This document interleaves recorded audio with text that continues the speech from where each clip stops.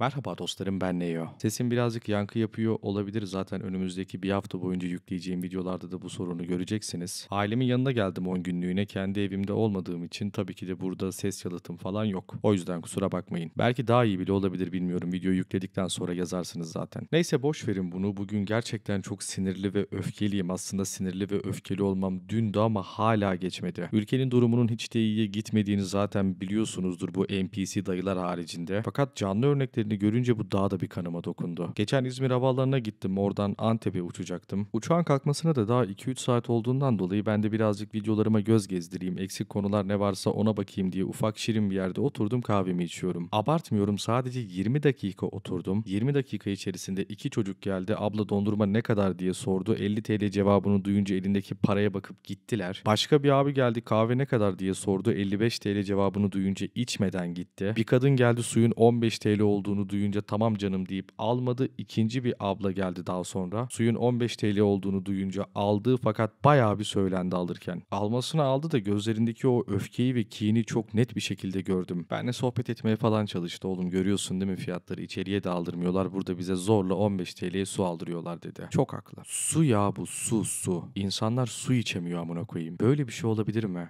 Bir su, bir su. Kaç lira? 3 lira ya. 3 liraya su mu olurmuş?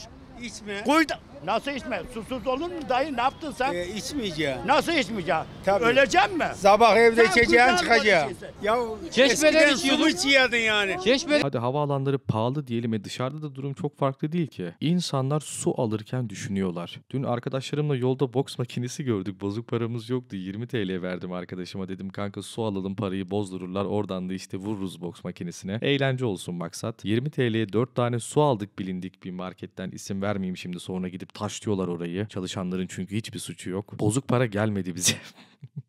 20 TL'den bozuk para gelmedi. Ha iyi mi oldu? Olmadı ama en azından güldük yani ne diyeyim ağlanacak halimize zaten gülüyoruz. Parayı bozdurmak için su aldık bozuk para gelmedi diye. Havaalanında içime bir şey oturdu bunları görünce. O kadar zoruma gitti ki sadece 20 dakikada yaşadığım şeyler. Yani ne düşünün ya çocuğuna 20 TL veriyor dondurma alması için çocuğu alamıyor tekrar annesinin yanına gidip dondurma 50 TL diyor ve annesinin yanına oturuyor. Bu hale kim getirdiyse bizi çok net bir şekilde söylüyorum. iki dünyada da iki yakası bir araya gelmesin. Bunları yaşarken bir de karşıma bir video çıkmaz mı? Bir çocuk annesine neden benim annem olduğunu demiş. Okul üniforması ve ayakkabı alamadığı için annesi. Bu nasıl bir travma ya? Bildiğim bütün küfürleri saymak istiyorum. Bütün küfürleri. Özellikle şu insanlara. İşe Kızım gireceğim, ben okuyacağım. şu sahillerde görüyorum. Tamam. Okula almış çantasını eline Elverişli değil. Ama geliyor bize diyor ki o zaman okumayın.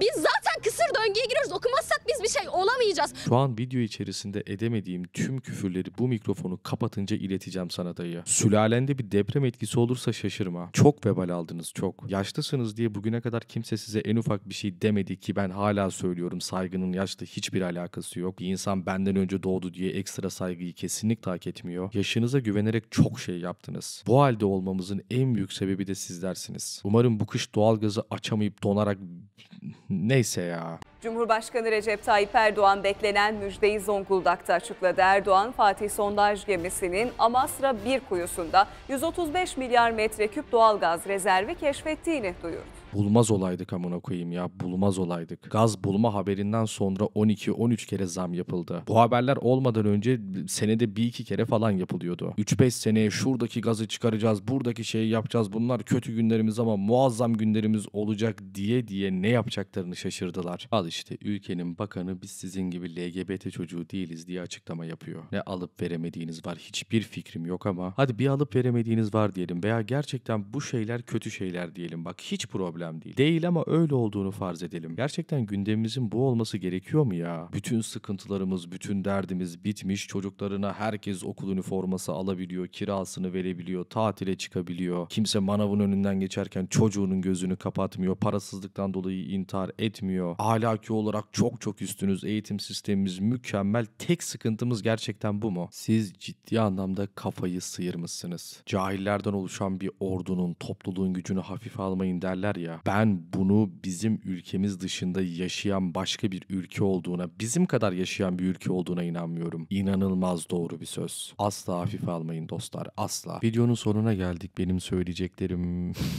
Çok küfürlü. Bu, bu- bunlar dışında çok küfürlü. Hiç gerek yok. Gerçekten gerek yok. Birinden çekindiğimden falan da değil ha. Etinden korkanın kemiğini şey yapsınlar bu saatten sonra. İnsanların sıkıntı yaşamasını istemiyorum. Kötü örnek olmak istemiyorum ve benim videolarımı izleyip gaza gelip başkalarına falan küfür edip başlarını belaya sokmalarını istemiyorum küçük kardeşlerimin. Onun dışında zaten siz aşağı yukarı beni tanıyorsunuz diye düşünüyorum. Görüşmek üzere dostlar.